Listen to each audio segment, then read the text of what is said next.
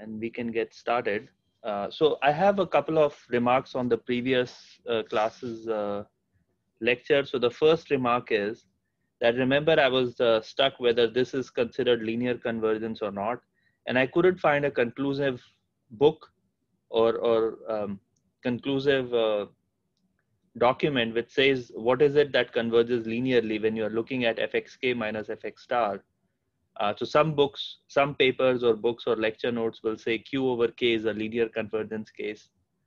Uh, whereas, uh, you know, some, so for instance, Bertsekas says that fxk minus fx star less than equal to q beta raised to k is a linear convergence or exponential convergence. So I just am at a loss in defining it properly because every book or lecture notes I, I, I see, the definitions are slightly different from each other.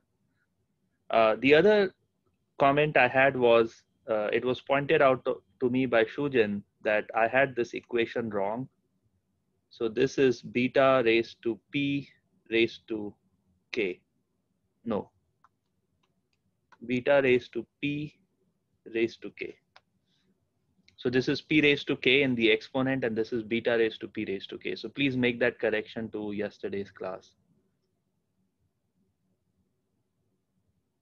Okay, so this is q multiplied by beta multiplied raised to p raised to k.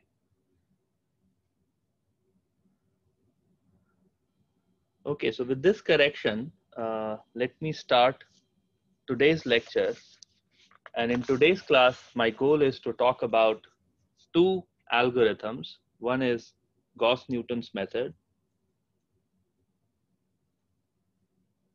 So we've talked about gradient descent and we have studied some sort of convergence uh, uh, uh, properties of gradient descent algorithms. Uh, today I'm going to talk about some classes of gradient descent algorithms. So the first class is Gauss-Newton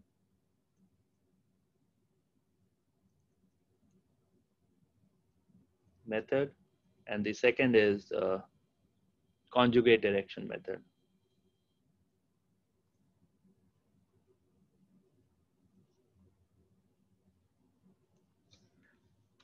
Okay, so let's talk about Gauss-Newton's method.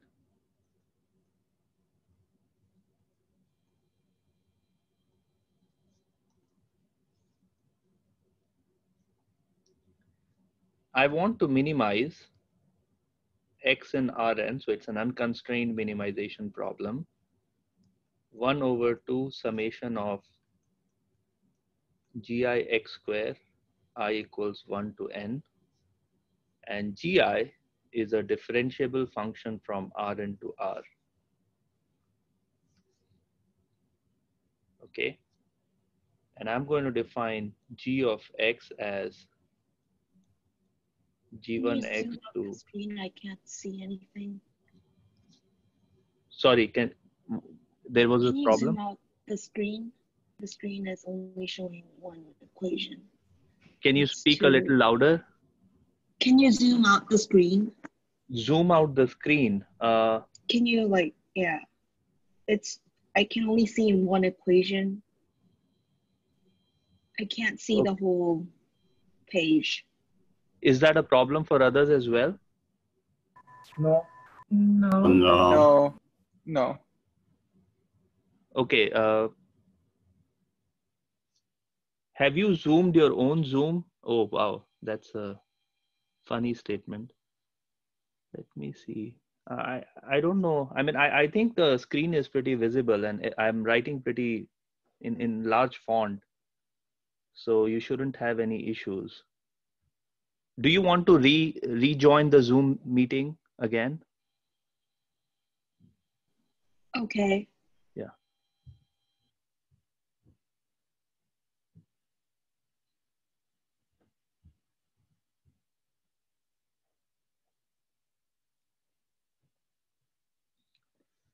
Okay, so let me, um, you know, just write down the expression for gradient of g of x. The gradient is actually given by, no, no, no, sorry. Uh, so f of x, which is the problem, is actually norm of g of x square. This is the 2 norm, so I'm going to omit the 2 here uh, because we'll most likely be working with 2 norms in the entire class. So the problem is to minimize fx, x in Rn. So if we want to do this minimization, uh, let's just apply the vanilla gradient descent method.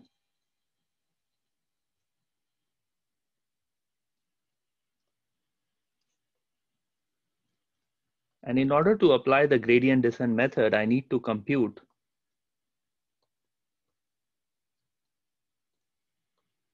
gradient g of x, now gradient f of x. Now, of course, uh, I, I, know that this was a quiz problem and that was due last week. So all of you must have attempted this before. I, I know that 47 people have attempted quiz, quiz two over the weekend, by the weekend. So I, I'm pretty sure most of you have seen this derivative before. So I'm just going to write it down. So gradient of fx is equal to gradient of 1 over 2 summation of gi of x i equals 1 to n. No, I'm using small, no, I should use capital N here. I should use capital N square. And this is equal to summation i equals 1 to capital N gix gradient of gix. And if you want to write it in vector form, it would be gradient of gx into gx. So this is a vector in R n cross capital N. This is a vector in R capital N.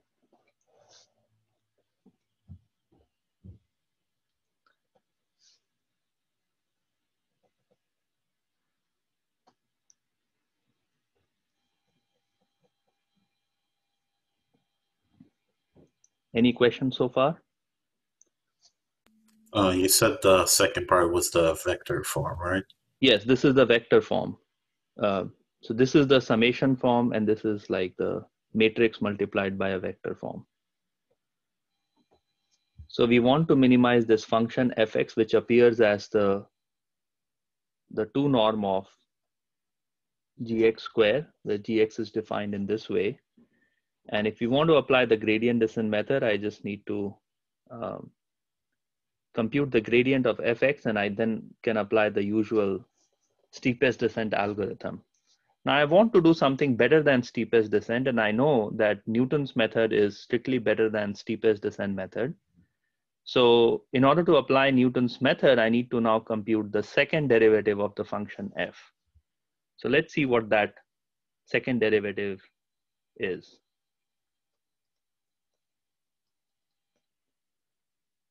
So I'm just going to use this and I'm going to differentiate it with respect to x. So I have the following second derivative, gradient of gix, gradient of gix transpose plus gix second derivative of gix, okay?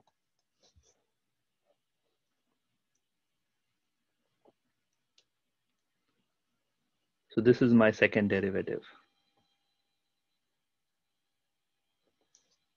This term can be written as gradient of gx, gradient of gx transpose.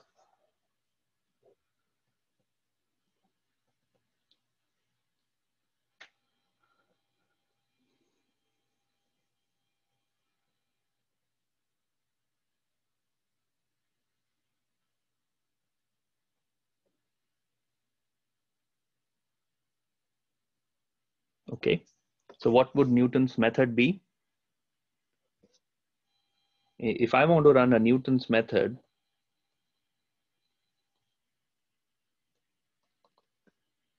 I need to run xk plus 1 equals to xk minus alpha k second derivative at xk inverse first derivative of fxk.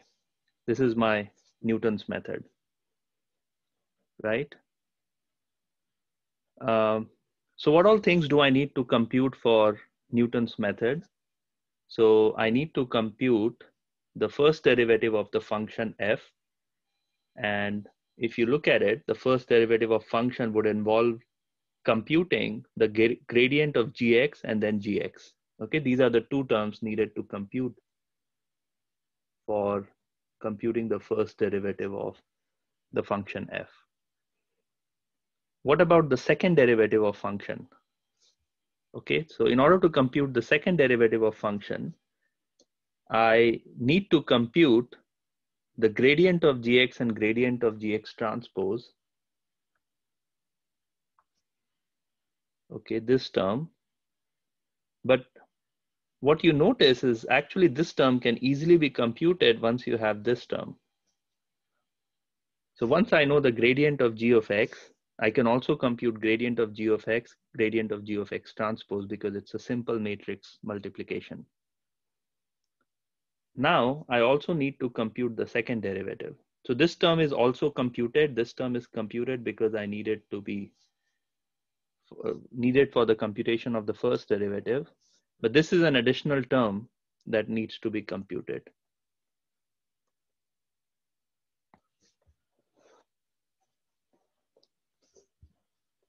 All right, so now um, the stage is set for introducing Gauss-Newton's method. You, what would you do if I ask you that I want it to be close to Newton's method, not exactly Newton's method, and I want to reduce the computational burden?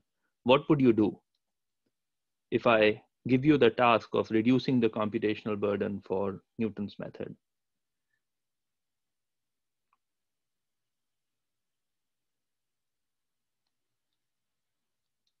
Any thoughts? Uh, avoid computing the inverse of the uh, second derivative. Okay, so avoid computing the inverse of the second derivative. Uh, so unfortunately, we want it to be close to Newton's method, so we have to compute matrix inverse. Um, uh, do we? Go, go ahead. ahead. So you can go ahead. No, I was just going to say that we create an approximation. Approximation of, so yes, I want an approximation of the second derivative of the function f. What could be a good approximation of the second derivative of function without incurring an additional computational overload? Um, saying that you can ignore the second term in the second order derivative of x. Perfect. So you want to ignore this term. Yeah. So this term is an additional term that needs to be computed purely for computing the second derivative. But if I ignore this term, then the first term is actually easily computed because I know the first derivative of the function. Okay, so that's Gauss-Newton's method. You, you, you just got born like 200 years later. If you were born like 200 years earlier, this would be your name. Okay, so the idea in Gauss-Newton's method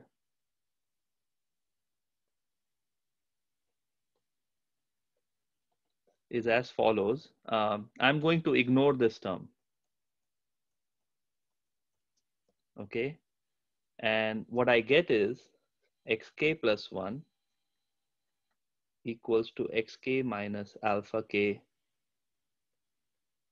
gxk gxk transpose inverse gxk gxk okay? So this is the approximation inverse and this is of course exactly equal to gradient of the function at xk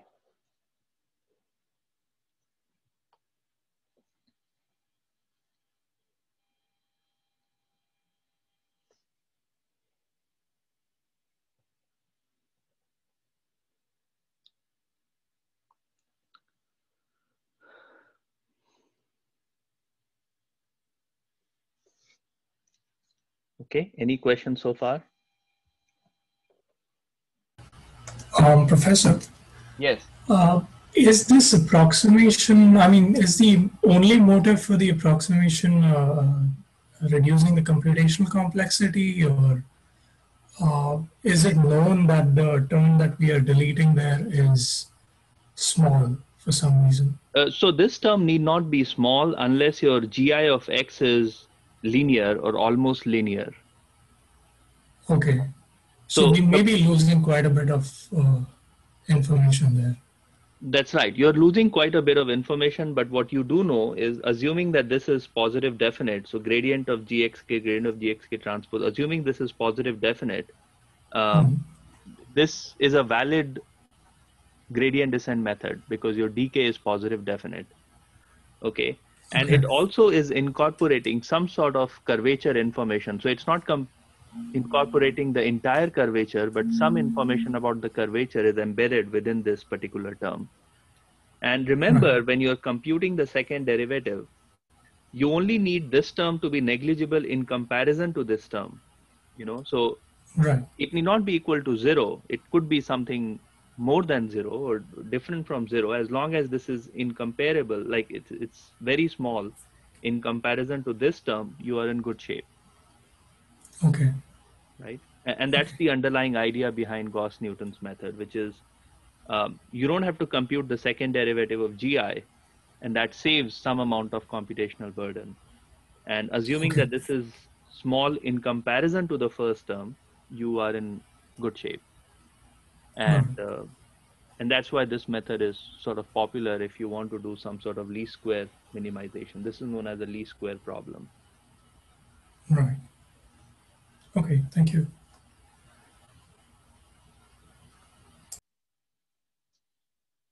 Yeah. Any other question? Is this exclusive for least squares problems or does it generalize to other problems as well? This is exclusively for least square because this second derivative term, I mean, this sort of uh, second derivative decomposition will only happen for least square problem. It won't happen for, you know, some some other problem. Mhm. Okay. Yeah, and least square, by the way, just so you know, least square problems are very, very common in statistics and in control systems and system identification and machine learning type problems. So, which is why this this method is famous or or useful. You get the speed up of Newton's method without actually computing the second derivative term.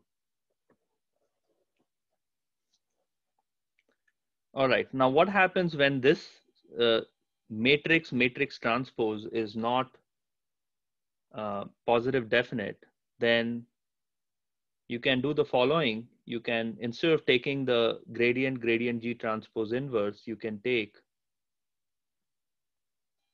gradient G xk gradient G xk transpose plus beta k identity inverse. So beta k is some some positive number. And identity is of course the usual identity matrix. That will make this whole term positive definite. This will be positive definite. And uh, you can then run the Gauss-Newton's method with this additional term beta ki.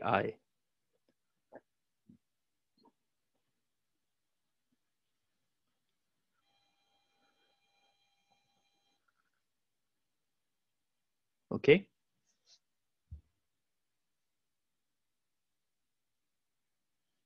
Uh, you said uh, red is for if it's not positive definite, right?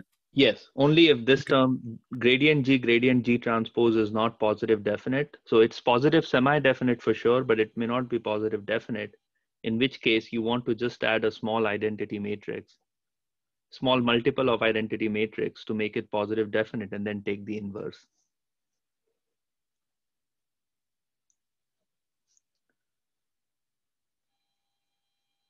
Okay. So that's uh, Gauss-Newton's method, a pretty straightforward derivation. And this is one of the approximate Newton's method.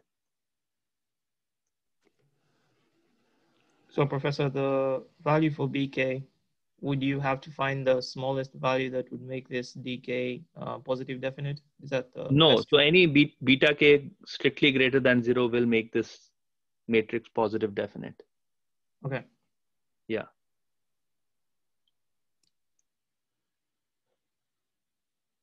Now, you could argue how do you pick beta k? And all I'm going to say is use your experience. So use different values of beta k's in the beginning. And as you um, get more experienced on solving the problem, you will kind of know what an optimal value of beta k should be.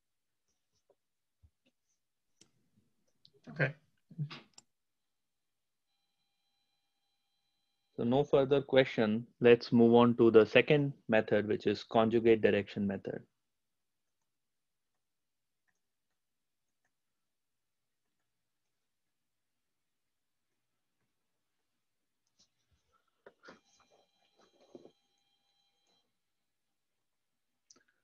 All right, so in conjugate direction method, my goal is to solve the following minimization problem.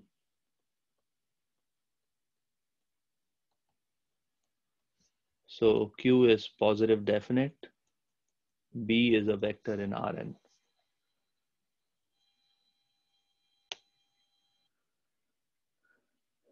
So this is my function f of x.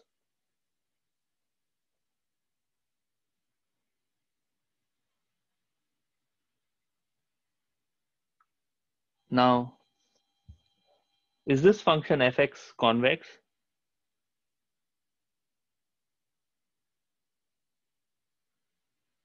Remember q is positive definite. So let's look at the first derivative of the function fx. It's qx minus b. The second derivative of the function, it's just q. q is positive definite and therefore f is positive definite for all x in Rn. f is convex.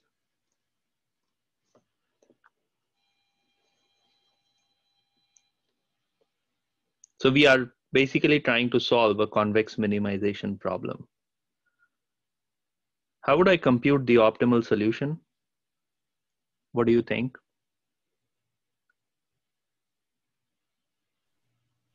Find the first derivative and set it to zero. Perfect. So the first derivative is given here. Let's set it to zero.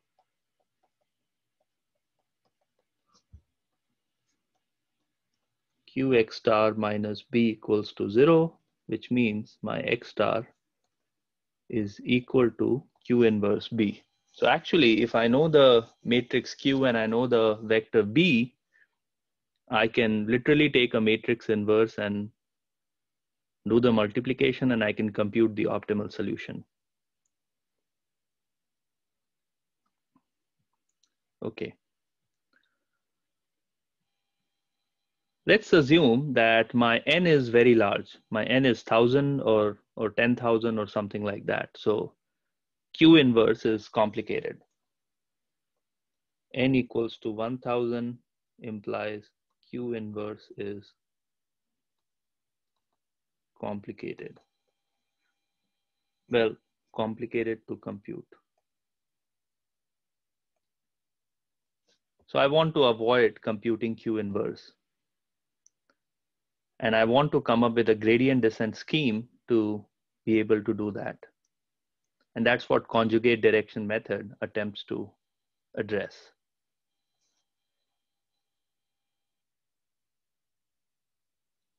Okay. Any questions so far?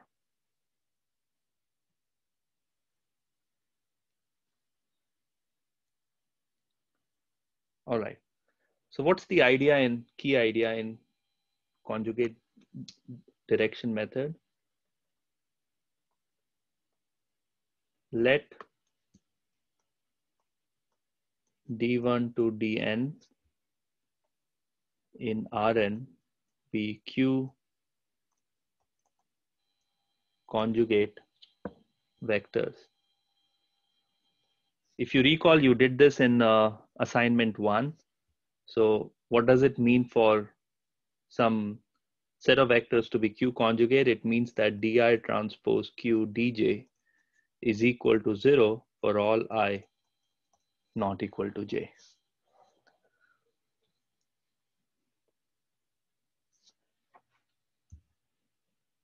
And I want to run the following gradient descent algorithm.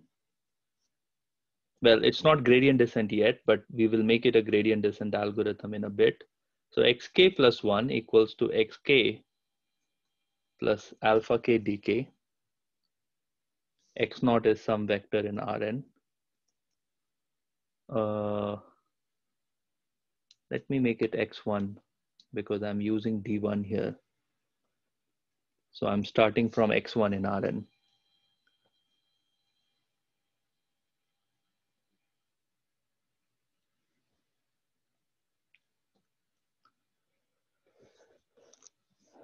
I'm going to compute alpha k according to the minimization rule.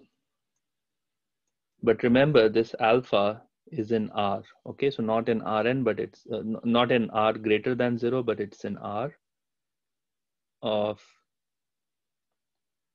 f of xk plus alpha dk.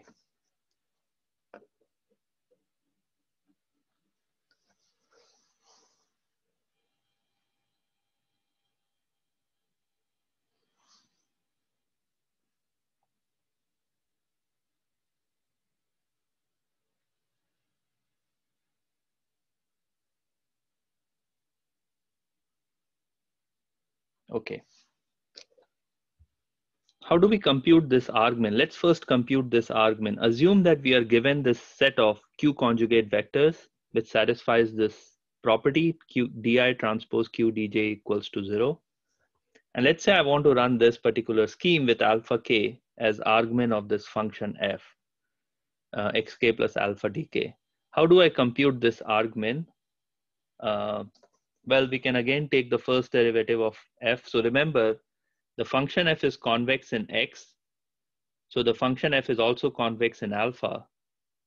And therefore, we can um, just take the first derivative with respect to alpha, set it equal to zero, and we can get the optimal value of alpha k. So let's do the computation.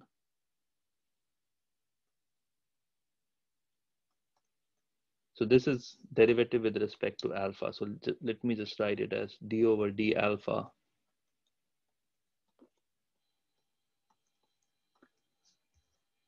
Okay, this is how I can find at alpha equals to alpha k.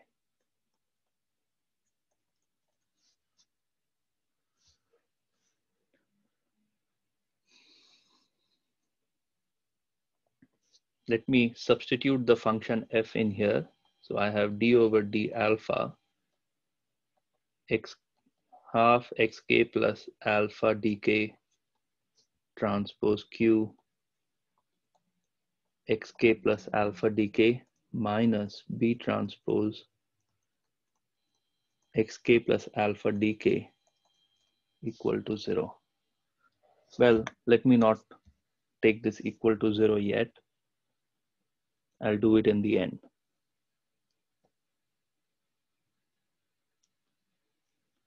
Looks like a horrible expression. I mean, it is a horrible expression, but let's compute it.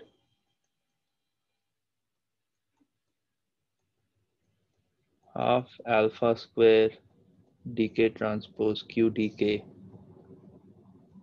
plus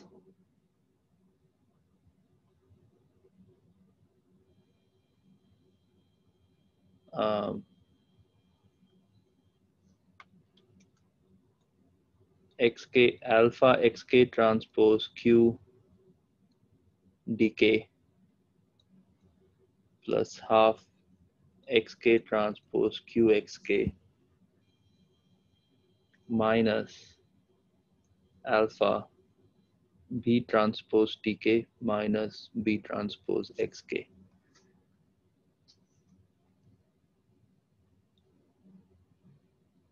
okay, I just want to make sure that I haven't made any mistake in this computation. So you should also check and let me know if you find any error.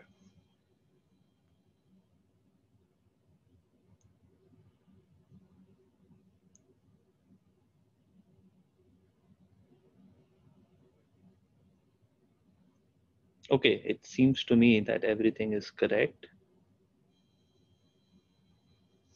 No errors here. What should the derivative be with respect to alpha? I need your help.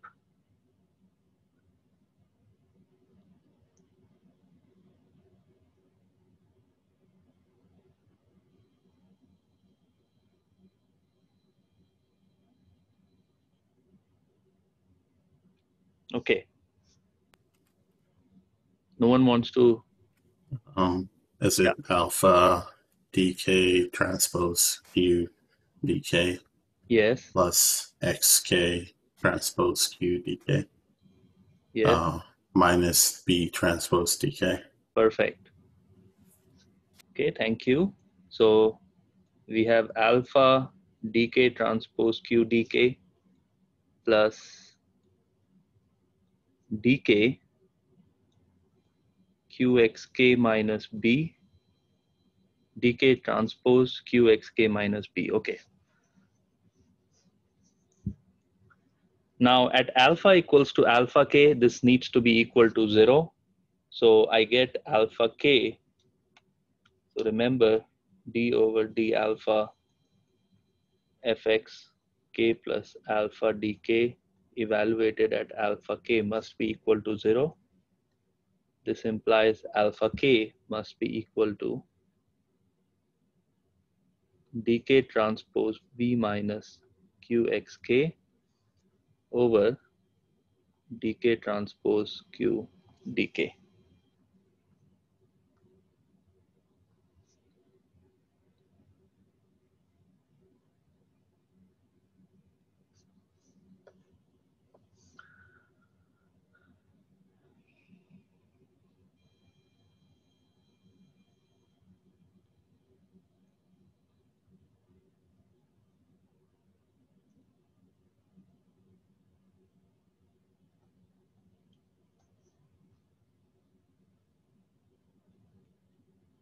Okay. So if we knew dk, I can actually compute alpha k purely through some matrix manipulation. And uh, I mean matrix compute matrix multiplication. And uh, I can just substitute this value of alpha k in xk plus alpha k dk.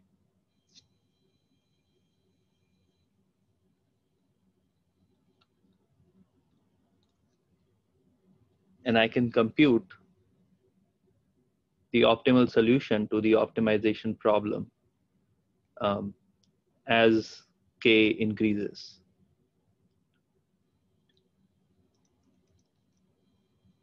Now the problem here is that someone needs to tell me the q conjugate vectors d1 to dn upfront at the very beginning of time before I before I run this algorithm. So that's the drawback of this method at this point of time. Uh, how can we alleviate this drawback? So suppose I don't have d1 to dn or dk, uh, yeah, d1 to dn. Um, how can we, or are there any thoughts or are there any, or do you have any ways of computing dk on the fly? How would we do it?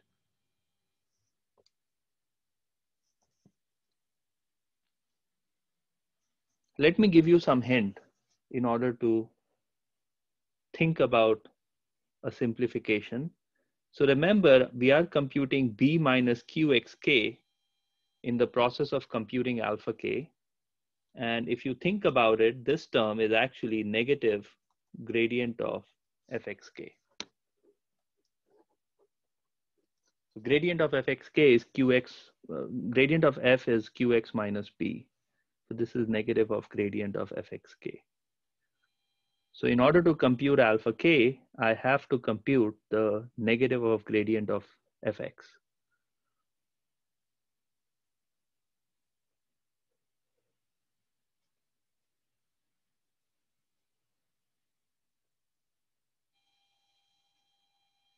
Any thoughts?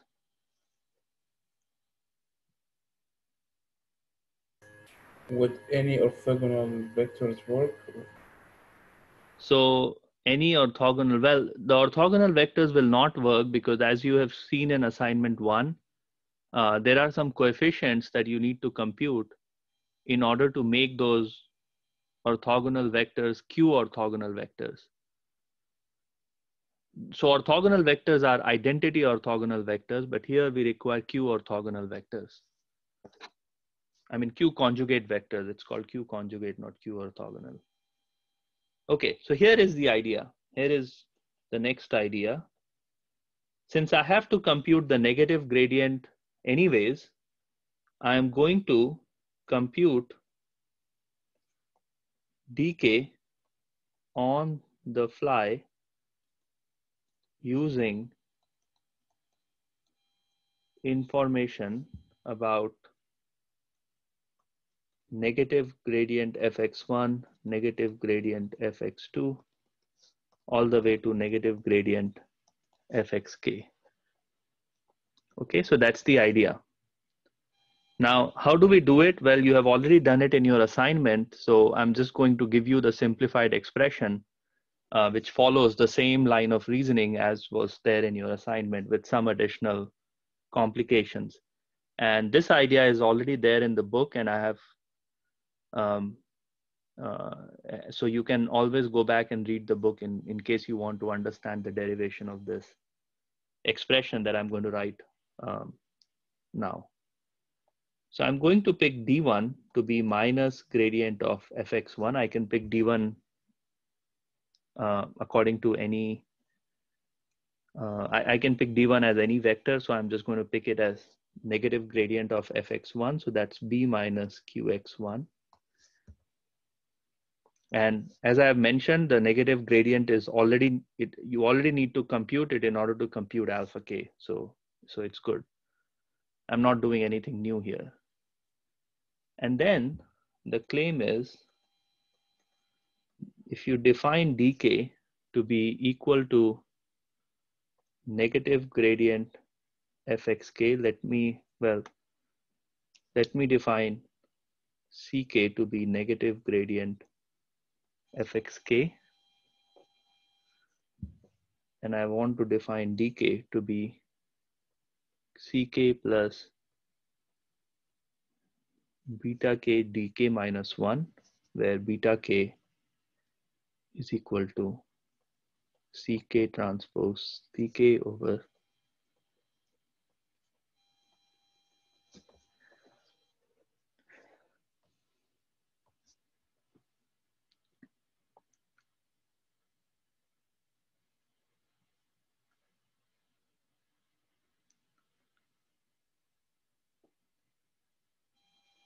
Okay, so at time k, I compute the negative gradient of fxk. I'm, I'm going to call it ck. Then I compute beta k using this uh, simple matrix multiplication or vector multiplication. And then I'm going to substitute this beta k here multiplied by dk minus 1 and I'm going to add ck to it in order to get the value of dk. And it so turns out that dk is q conjugate vectors.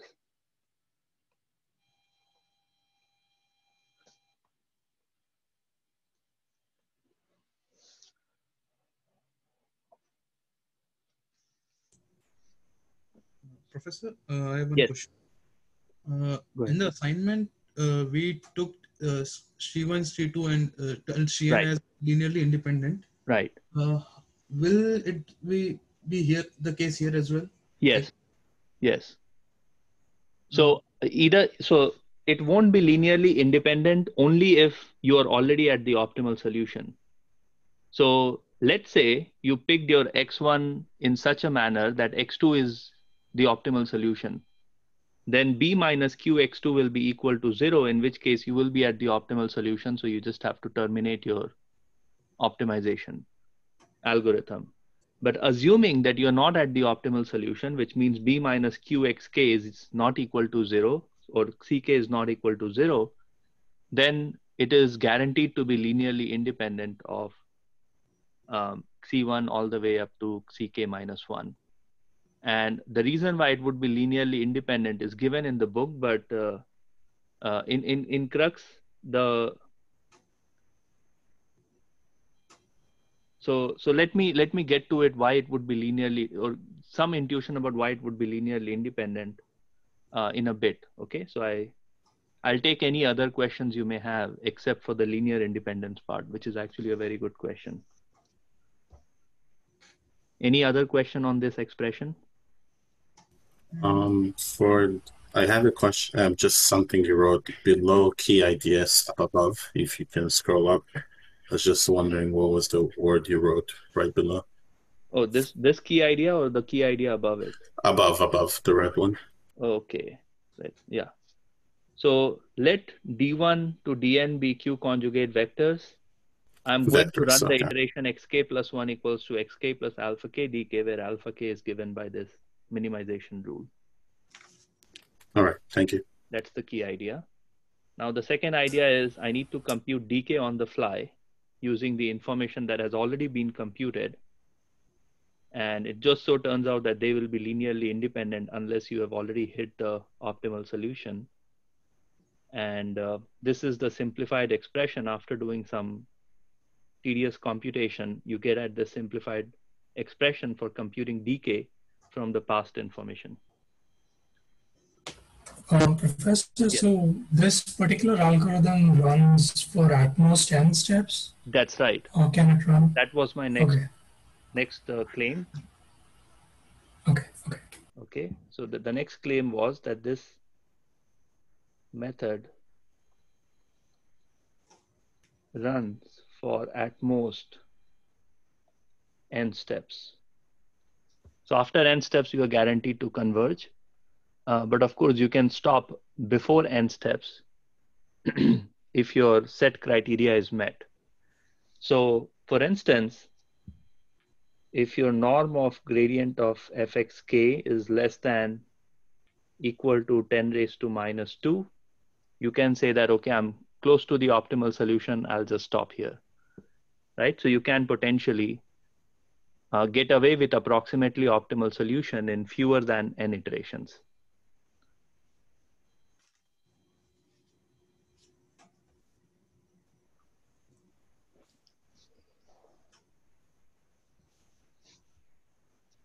So if this is your criteria, you can get away in fewer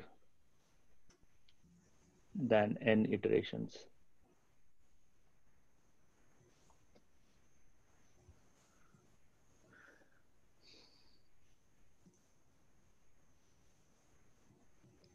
Okay. All right. So any other question?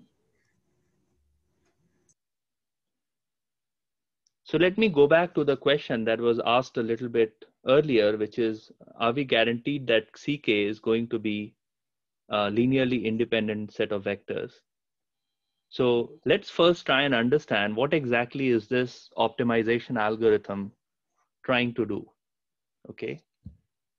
So I want to draw a picture. So this is my X star.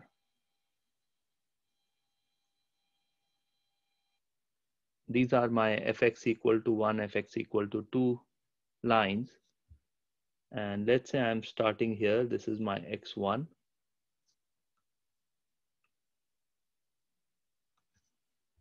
And when I'm sitting at x1, I look at the gradient of fx1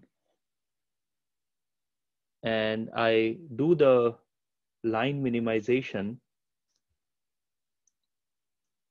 So I pick my d1 equals to gradient of fx1. I pick alpha 1 equals to argmin f x1 plus alpha d1. Okay, so I can either go in this direction or I can go in this direction because alpha 1 can be can take any positive or negative value. Okay, so the positive value will be in this direction, the negative value will be in this direction. And once you do the computation, you will actually realize that, let me draw another line. Uh, the value of alpha 1 will be such that this would be your x2. This would be your x2. Okay, after you compute x2 equal to x1 plus alpha 1 d1. And from x2, you will apply another round of this conjugate gradient method using the dk computed using the previous claim, and then you will converge. So this is a two-dimensional system, so you will actually converge in two steps to the optimal solution.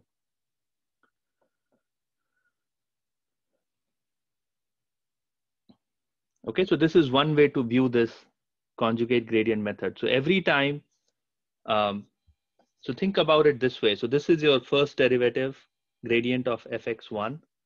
What would the second derivative be?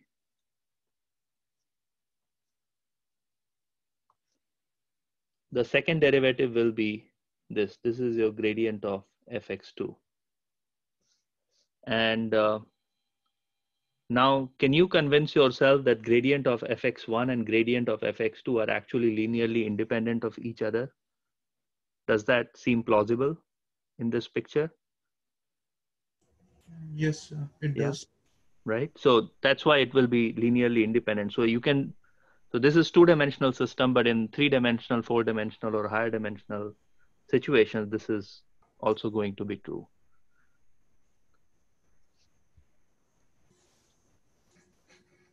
Okay. So that's one way to uh, visualize this particular algorithm. So every time you are um, going to generate a gradient which is going to be linearly independent of all the past gradients, and then you can compute the Q conjugate vector and move in that direction, unless you hit X star at the very beginning itself. So when can that happen? Let me just draw a picture. This is my X star. And let's say I, by some stroke of luck, I picked my x1 like this. This is my gradient of fx1. This is my negative gradient of fx1. And by picking an appropriate value of alpha 1, you will actually hit x star in the first step itself. So alpha 1 d1 in this case.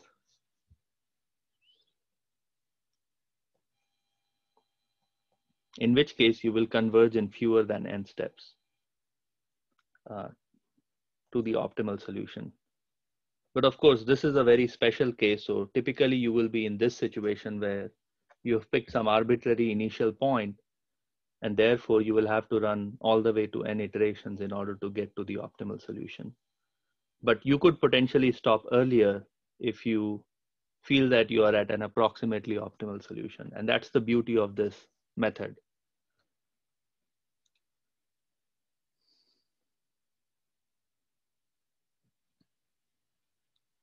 Okay, does that make sense? Yes, Professor. Thank you.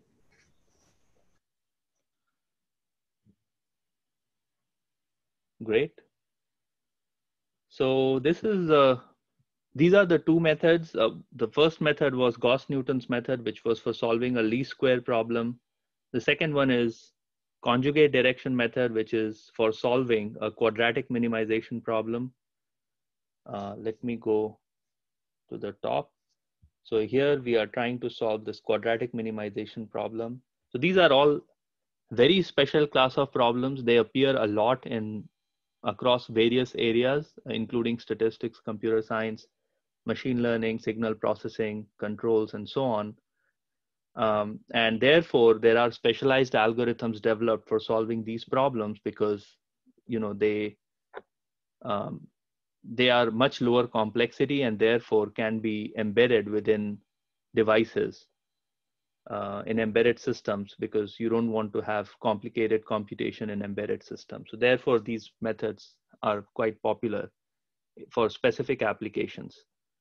Uh, what I'm going to do in the next class is we'll talk about what is known as quasi-Newton's method.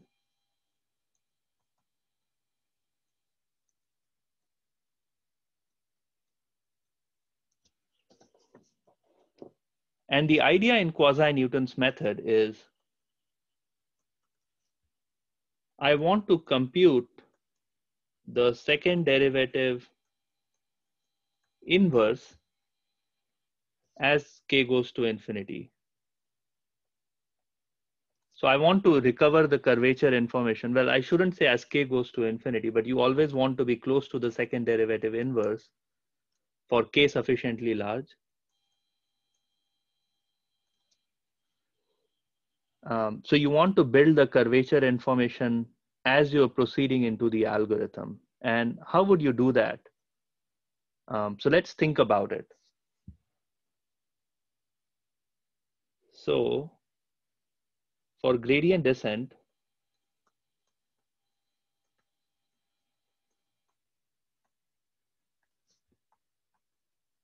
I know the following. I know xk plus 1, I know xk, I know gradient of fxk plus 1, I know gradient of fxk. Okay, what does first order Taylor series say?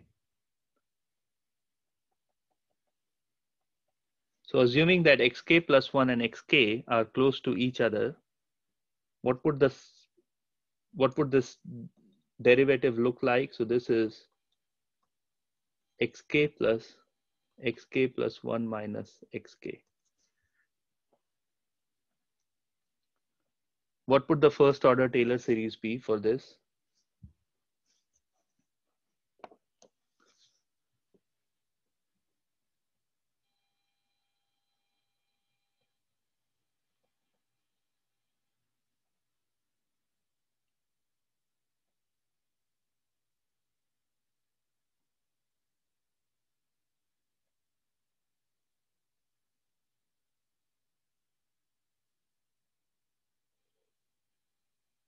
What do you guys think? What would the first order Taylor series be? I'm assuming, again, let me uh, reiterate, I'm assuming that xk plus 1 minus xk is small because you're taking small steps in gradient descent.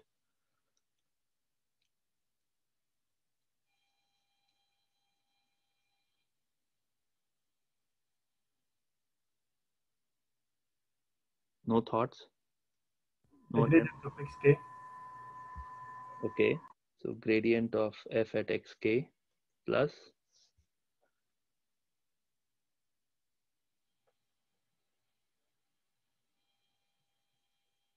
Okay, so let me just write it. Second derivative of f at xk multiplied by xk plus 1 minus xk.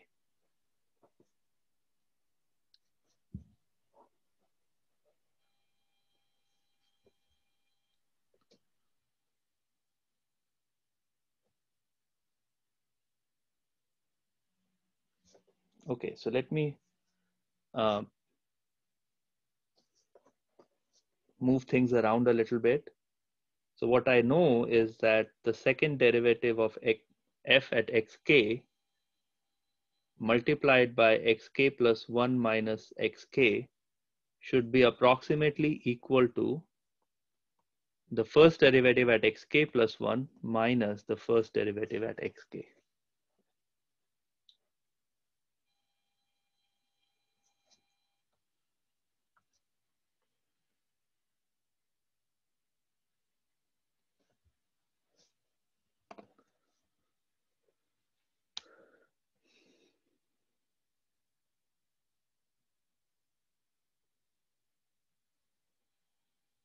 Okay. So in other words, I want to find a positive definite matrix. dk, remember in Newton's method, dk should be second derivative of fxk inverse. So I want to find a positive definite matrix dk, which happens to satisfy this, uh, this condition. So I again want to re-emphasize that I already know xk plus 1, I already know xk, I already know the gradient of fxk plus 1, and I already know gradient of fxk. And it just so happens that assuming that xk, xk plus 1, and so on are close by, um, the second derivative of f at xk will be almost equal to the second derivative of f at xk plus 1 because th these are all continuous functions.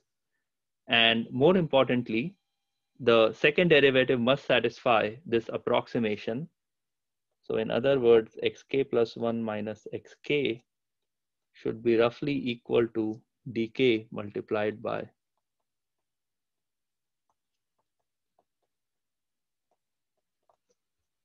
the difference in the derivatives at successive points. And what the quasi-Newton method attempts to do is update dk using um, the gradient information.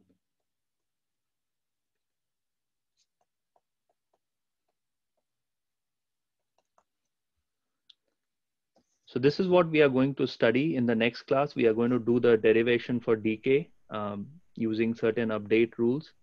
And I'm going to introduce BFGS and DFP methods in the next class.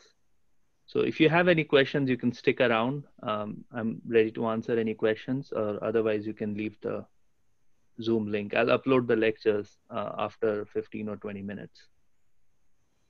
Professor, I have one doubt. Yes. Uh, I find it uh, like I am not able to understand how we already know xk plus 1. Isn't it that what we want to find? Like what is from xk we want to go to xk plus 1. How do we know already know that? Well, so if you're running, so let's say, here is the idea. Let's say I start with dk equals to identity. So d, d1 equals to identity or d0 equals to identity. So, and I, I know x naught already. So I can run x1 equals to x naught minus alpha 0 gradient of fx0, right? And now I want to compute. So after I have computed x1, I then compute gradient of fx1. Okay. Right? So now I know x naught, gradient of fx naught, I know x1 and I know gradient of fx1. Okay, so now so then I can update d1. I can get some value of d1 from d0 and something something, you know, which is the update rule we will study in the next class. And then I can run the following iteration, x1 minus alpha 1 d1 gradient of fx1. Okay, so we started from d0. Okay, that's what I was. That's right. That's right. So d0 could be identity. It could be some other positive definite matrix. Okay. Uh, yeah. Oh, it makes sense now. Yeah. Thank you.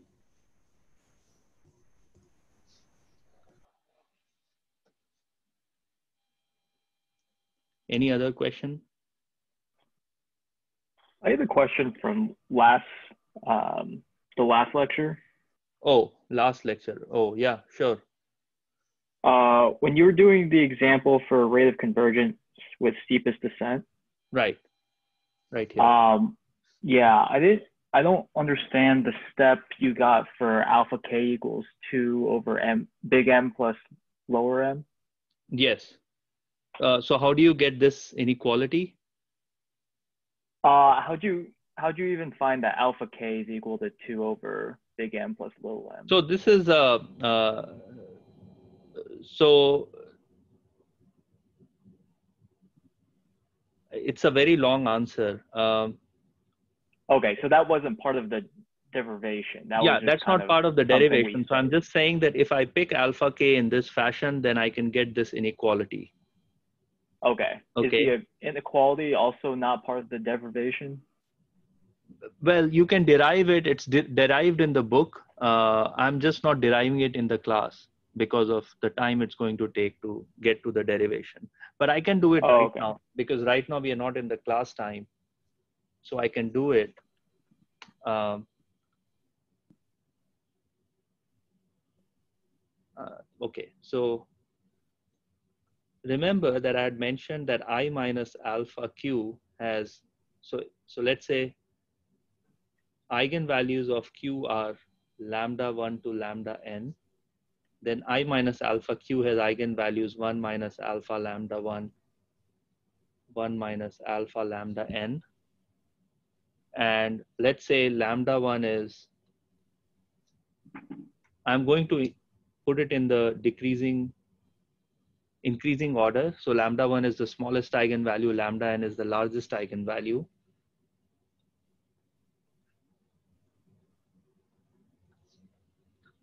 Okay, so this holds, right? Mhm. I can, let's say I pick alpha k equals to alpha equals to 2 over m plus capital M. What would my eigenvalues of i minus alpha q look like? It will be 1 minus 2 lambda 1 over m plus capital M, 1 minus 2 over lambda n over m plus capital M. Um, is that, does everything make sense so far? Yeah. right? And then I'll have the inequality in the reverse direction because I have negative lambda one here and so on. Oh, okay. So you know that lambda one is positive, right? And this two over m plus m is positive. So this term is going to be less than one, right? And you know that this Mhm. term is going to be greater than negative one. By a similar argument. So what you have is 1 less than 1 minus 2 lambda 1 over m plus capital M, 1 minus 2 lambda n over m plus capital M greater than minus 1. And so your rho, which is the spectral radius of i minus alpha q for 2 over m plus capital M is going to be the max of 1 minus 2 lambda 1 and 1 minus 2 lambda n.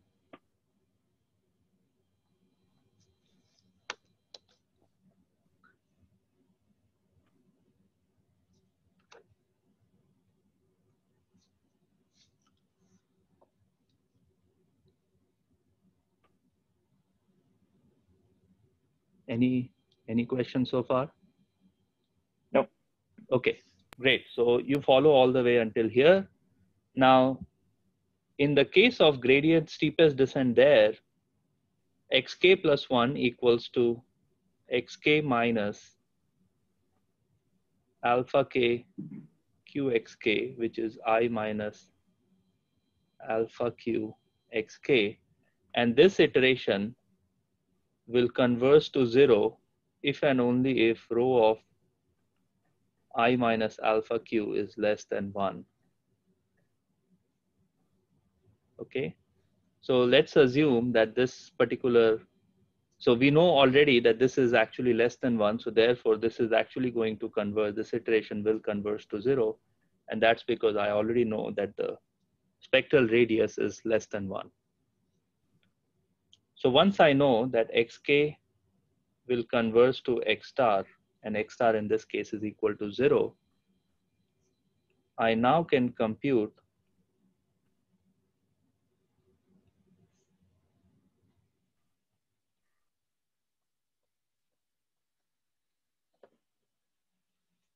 Should I put square here or should I just put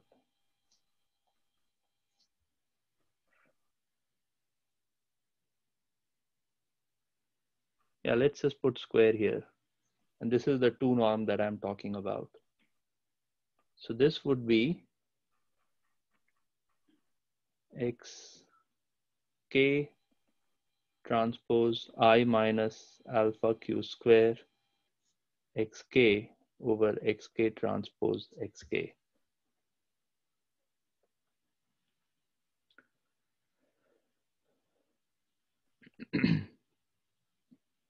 And now we only need to argue that this is less than equal to capital M minus small m over capital M plus m.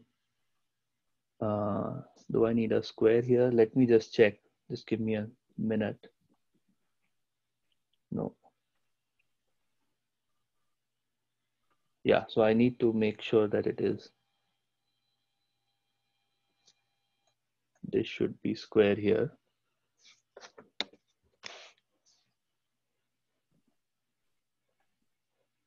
So is that easy to argue? Let me think about it.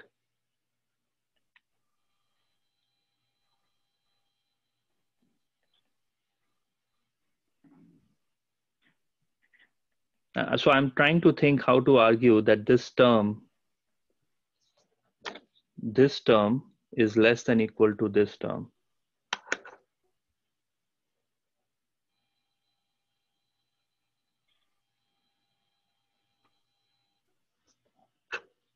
Okay, so what I do know is the norm of ax square over norm of x square is less than equal to so assuming A is positive definite, this is less than equal to rho of A square. So this is a result I know from linear algebra.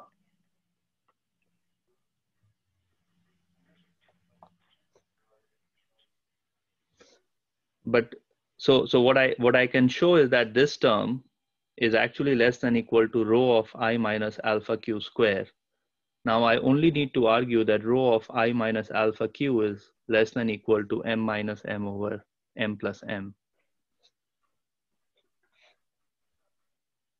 Okay, so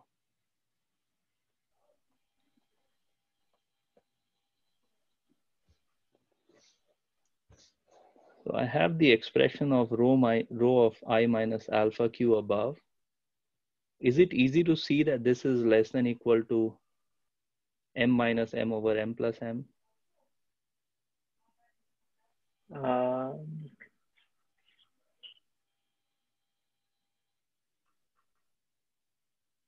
oh, actually, it may be. Um, all right. So, do you do you follow all the way until here? You yeah. all I the way so. until here. Okay. Mhm. So now this is the only missing step right now. Um, so let's let's see a, let's see. So one minus two lambda one over m plus capital M. I know that lambda one is greater than equal to m. So this is less than equal to one minus two m over capital M plus m, which is equal to m minus m over m plus m. Okay, so I get one side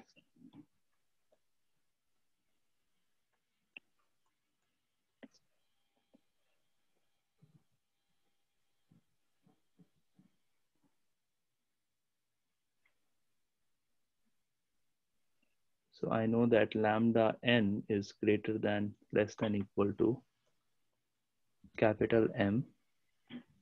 So this is greater than equal to 1 minus 2m over m plus m.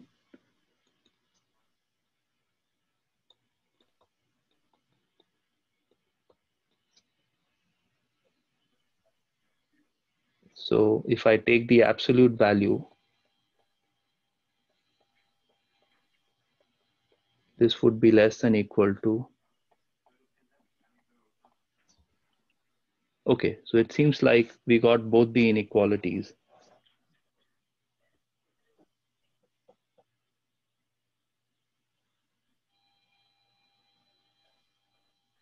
Does this make sense?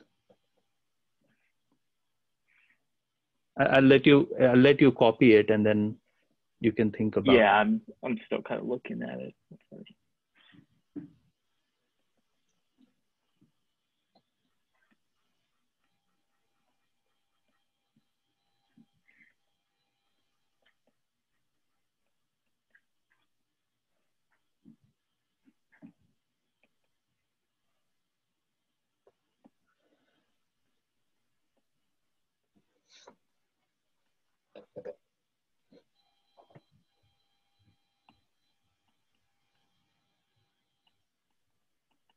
How did you get uh the m minus m term in the numerators? this one or this one. Uh, So this is equation number one, this is equation number two, this is equation number three. So which one are you talking about? In one, One, okay. one oh okay. If you multiply the term the one term right there by m plus m That's right. plus That's m. right. Okay. Yeah, yeah, Oh, okay. Right. I see it now. yeah. And the same thing happens in the second second equation as well, except that this Okay. numerator is now negative. This is less than zero. So when I take the absolute value, the inequality will get reversed. Oh, okay.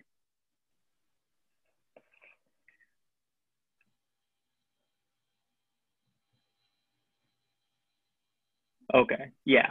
I, Yeah. I, I see this now. Yeah, yeah. Okay. Perfect. So so that's how you get the you get this expression. Okay. That's good. So it, that's why Yeah. it's just a tedious derivation, but it can be done. That's that's what I meant. Okay. Yeah. I think I was just looking back at my notes and I thought I had missed the connection between oh, how Oh, No problem. You you so- should just ask these questions. That's why I'm here. So I'm glad you asked this question because now this derivation is available online oh, for others to see. I just didn't want to cover it during the class time uh, because it's just 20 minutes of linear algebra. yeah, I understand. Okay. Thanks. Perfect. Any other question? Uh, Professor, uh, if you, I have a question in this today's lecture. When you start Gauss-Newton method, Uh-huh. Gauss Newton method. Okay. yeah. No. Yeah, there it is. So somewhere here you say, yeah, you say uh, gradient of g of x will be positive semi-definite for Right. sure. I Right. did not understand how that is definitely positive semi semi-definite. Yeah. Okay. Okay. Good question. So let's say A is a matrix, R n cross M. Then A A transpose is positive semi-definite. So so let's see why. Let's say I have I pick an X and Rn, and I know that AA transpose is a matrix in Rn cross n. And I know that A transpose is symmetric. So this is a symmetric matrix. So does all of this make sense to you? So A transpose is symmetric and A transpose is a square matrix in n cross n. Yes, yes. Okay. Now let's pick a let's pick a vector x in Rn. I have x transpose A, A transpose x, which is equal to A transpose x 2 norm square, which is greater than equal to 0.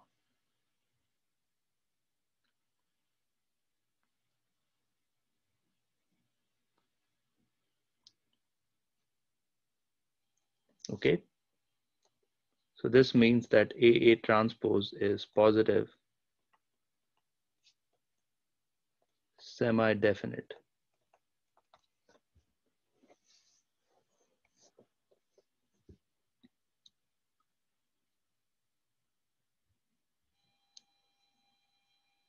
Right, that's just by definition.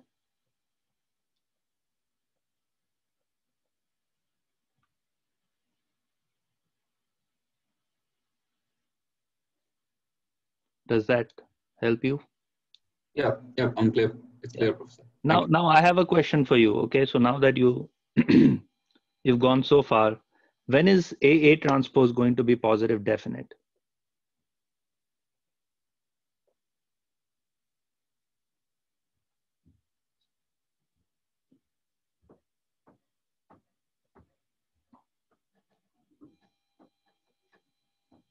Any thoughts? So, so let's let's think about it this way. Under what condition would this be equal to zero even when x is non-zero?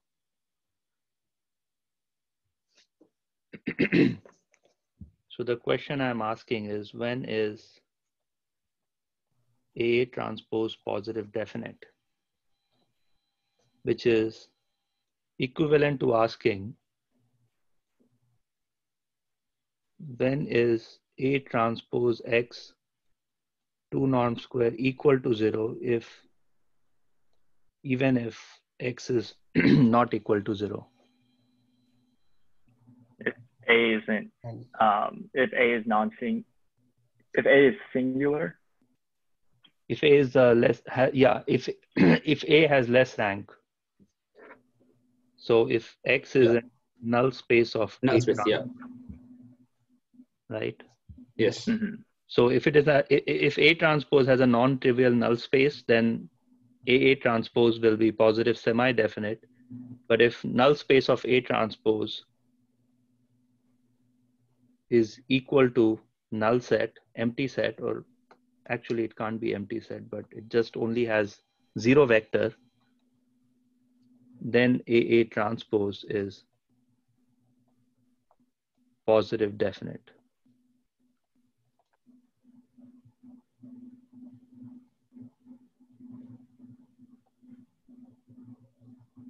okay Yeah. Got it. Got it. Yes. Yeah. Thanks, Professor. Sure. Any other question?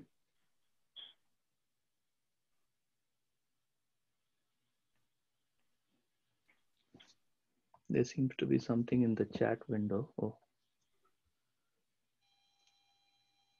All right, so no further questions. So I'll see you guys on Wednesday. And there is an office TA office hours on Wednesday, 9 a.m. So in case you have any questions, feel free to ask the TA or, or my office hours will be on Friday, so we can we could talk even on that day. Okay, so see you guys on Wednesday. Thank you.